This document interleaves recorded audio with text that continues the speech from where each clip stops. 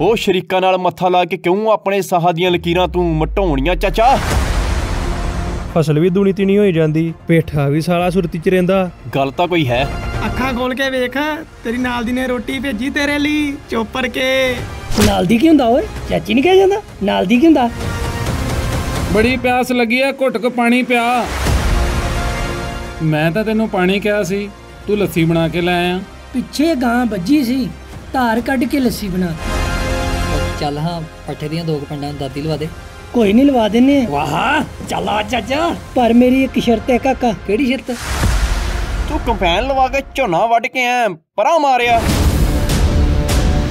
ਇਹ ਤੂੰ ਕੀਤਾ ਕੀ ਚਾਚਾ? ਚੱਲ ਮੇਰੇ ਪਿੱਛੇ ਬੋਲ ਵਾਹਿਗੁਰੂ। ਕਰਦਾ ਕੀ ਰਹਿੰਦਾ ਏ? ਉਹ ਤੂੰ ਪਿੱਛੇ ਕੀ ਕਰਦਾ? ਮਹਾਰਾਜ ਆਪੇ ਤੇ ਤੁਸੀਂ ਕਿਹਾ ਸੀ ਮੇਰੇ ਪਿੱਛੇ ਬੋਲ ਵਾਹਿਗੁਰੂ ਬੰਦਾ ਬਣ ਕੇ ਇਸ ਵੱਟ ਤੋਂ ਡੰਡੀ ਹੋ ਜਾ।